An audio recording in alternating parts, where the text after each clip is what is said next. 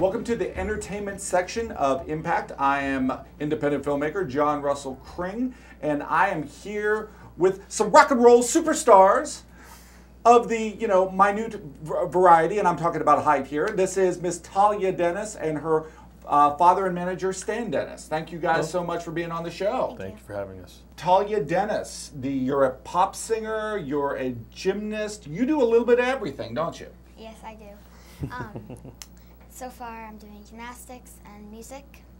And you you just finished a tour, is that right? Yes, over the summer, I'm starting to. Um, I have a few more shows left, and then I'm probably going to two or more next summer. And um, How does I- that happen? How do you how do you decide that I'm going to be a pop singer at what you're 11 years old, right? Yes. I just grew up with music my whole life, and we always watch concerts every night, and it just. I've been with music for my whole life, basically. That's awesome. Now, Stan, you're her uh, father and Yes. also her manager, so Yes.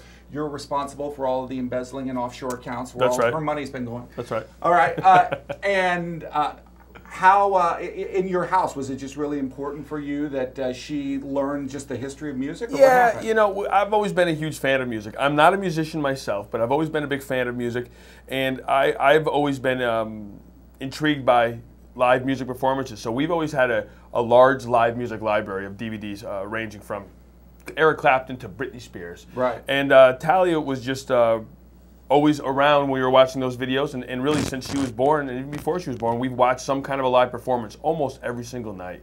So she just grew up, you know, watching live performances, and then also we brought her to a lot of live concerts. She's probably been to 50 or 60 shows between SPAC and Proctors and places like that uh, in just her short 11 years. So I think that the, the influence has been there from, you know, right from the beginning.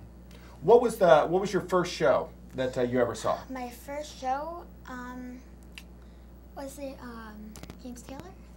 James Taylor was your second show. Your first show was Gavin DeGraw at Skidmore College. You were three and a half years old, running around dancing, and, and everybody just was amazed to see a little a little one there running around like that. So as they as they say, you were born with the music in you. Yeah, I was. Awesome. That, that that's absolutely so.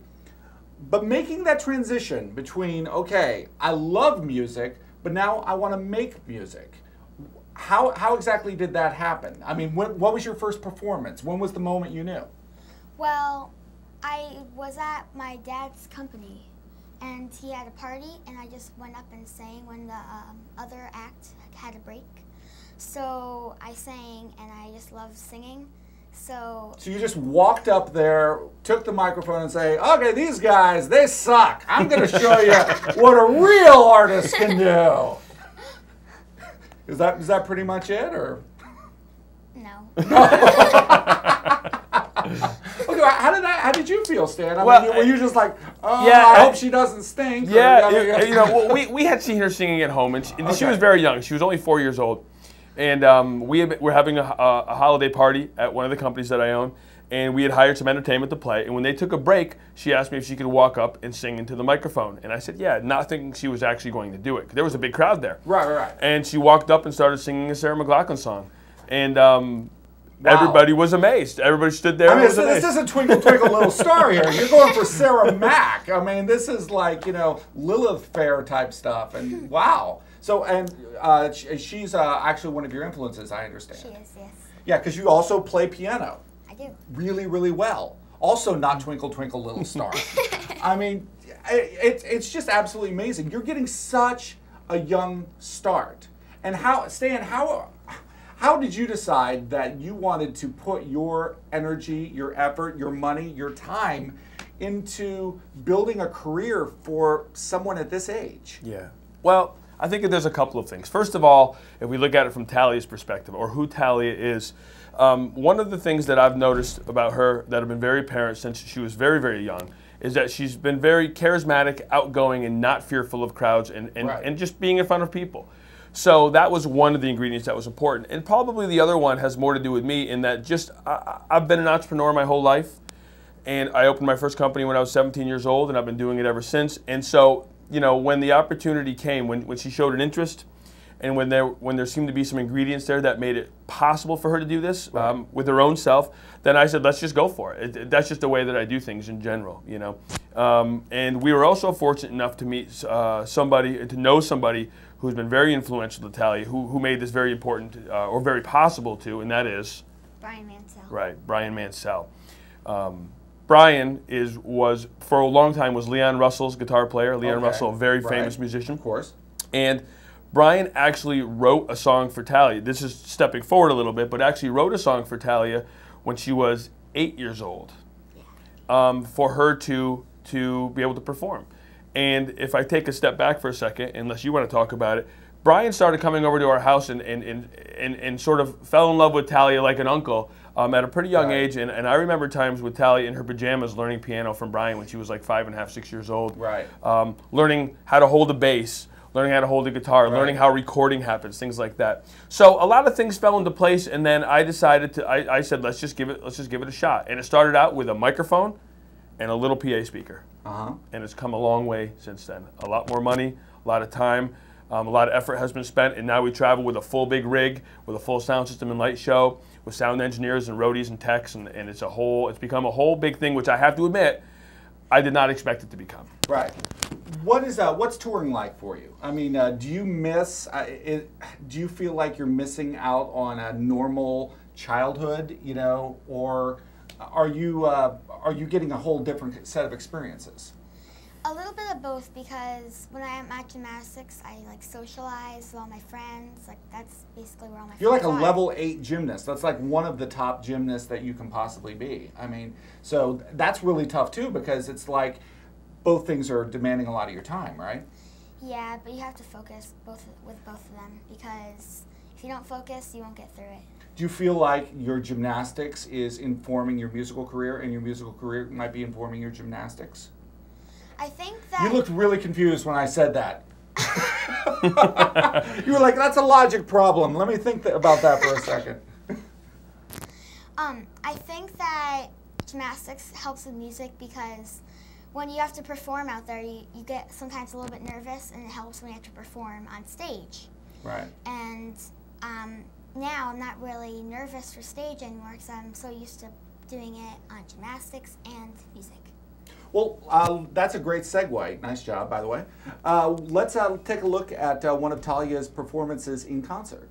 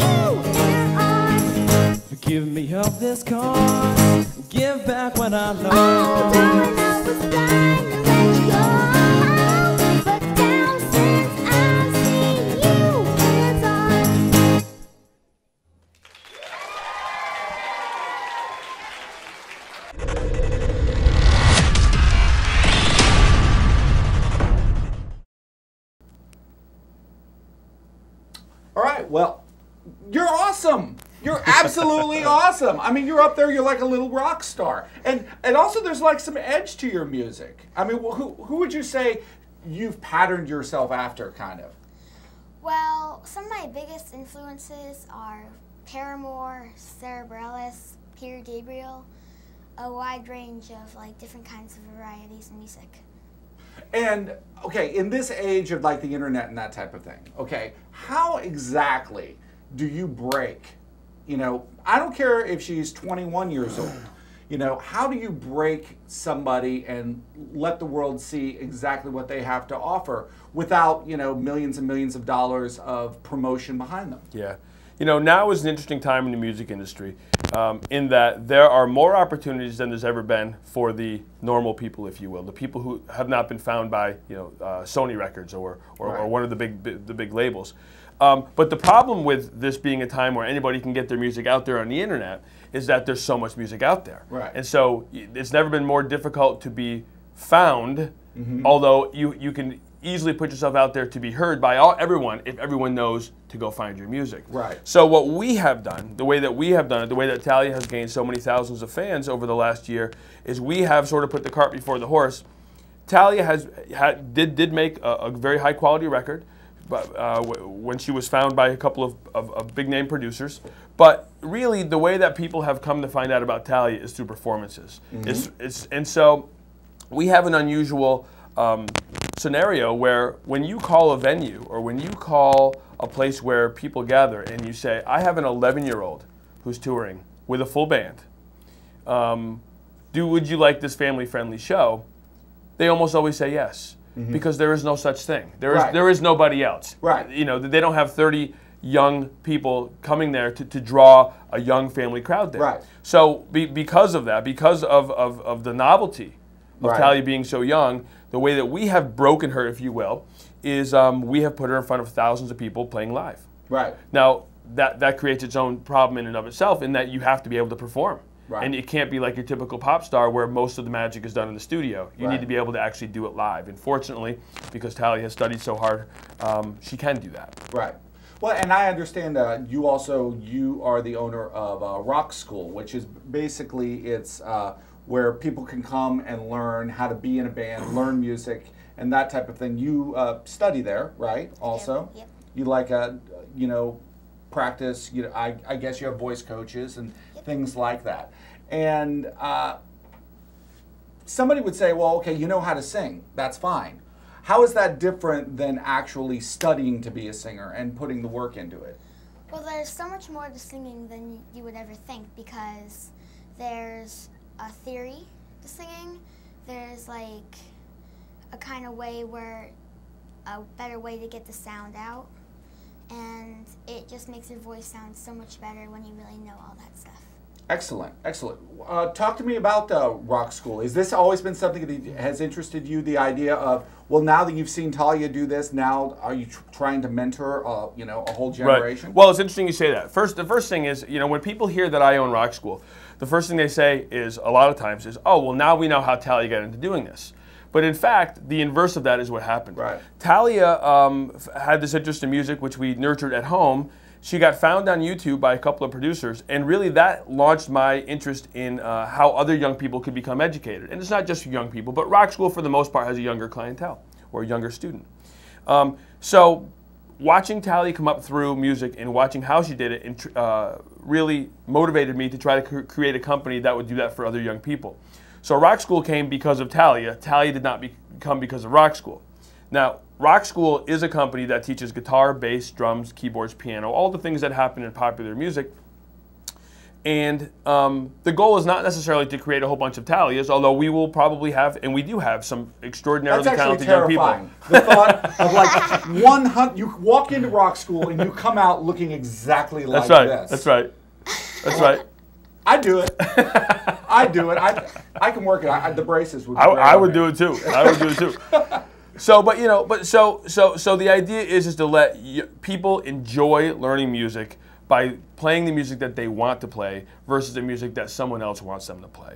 And although theory is important and we take it very seriously at Rock School, it's not the first and foremost thing. The first and foremost thing we think should be enjoying playing music. Right. And most of the musicians who have really changed the world and changed the musical landscape are not people who, who did so because they had such a theoretical uh, knowledge of music, although that is an important and good thing to have, but they did it because they were passionate about music and somebody motivated them when they were young to just go for it and do it their own way. And that, so that is uh, more or less what we do at Rock School. Right. So if you're starting this early in your career, does that mean by the age of like 19 you'll be retired, burnt out, probably laying in a ditch somewhere, uh, you know, hepped up on caffeine? I mean, you know, what exactly? Uh, where do you go from here? My goodness. I just want to keep playing music my whole life. I mean, for gymnastics, you have to stop at a certain age because sometimes you get too old. But music, you can just keep going and going, and that's just what I want to do. So really, this is your passion. This is you, you don't care if you're at a coffee house or you're in front of 100,000 people. Nope, I just love playing in front of any kind of people. Great. That's that, you know what, Talia, I I love the fact that you know someone your age has such a passion and such a love for music. And uh, I actually do love music. I did not just get this Nirvana T-shirt out of mothballs. I actually do wear it on a semi-regular basis. So thank you so much for being uh, on the show, Stan. Awesome to see you. Uh, Thank you. And uh, guys, uh, where can people find uh, Talia music, and uh, how can people find Rock School if they're interested? They can go to taliadennis.com and they can look up some of my music. There's videos, photos, all kinds of stuff. Awesome videos too. Great. And uh, for Rock School, you can go to rockschoolmusic.com. Fantastic. Well, thank you guys so much for uh, being you. on, and uh, maybe people will say, I, I knew her back when she was on Impact, and now look at her. Oh my goodness, she's on the cover of the National Enquirer. All right. Thanks so much, Talia. Thank you. Thank you. And thank you so much for watching Impact. We have all kinds of cool stuff. We have really short people, and we have really bald people too. we'll see you next time.